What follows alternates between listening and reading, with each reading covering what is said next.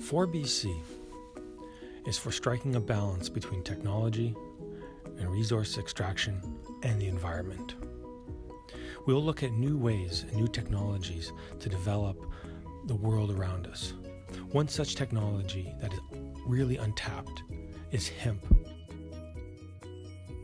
Hemp is an unbelievable source of material.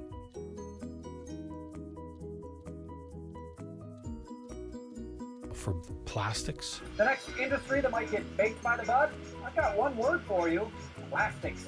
Except biodegradable plastics that won't destroy the planet. for food sources, Canada has become a world leader in the production of industrial hemp grain for food products. hemp pellets can be used for power generation.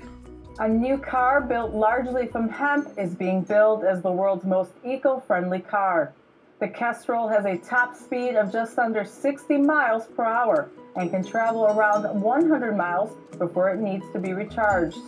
Up to four people can fit in the eco friendly automobile, and the body, made from hemp fibers, is highly resistant to impact. After a crash, the panels pop back into shape, reducing damage. It's a skateboard, 22 inches long and 6 inches wide. It's entirely made out of industrial hemp and bioresin. My name is Erik Deutscher, leader of 4BC, and we're here working for British Columbia.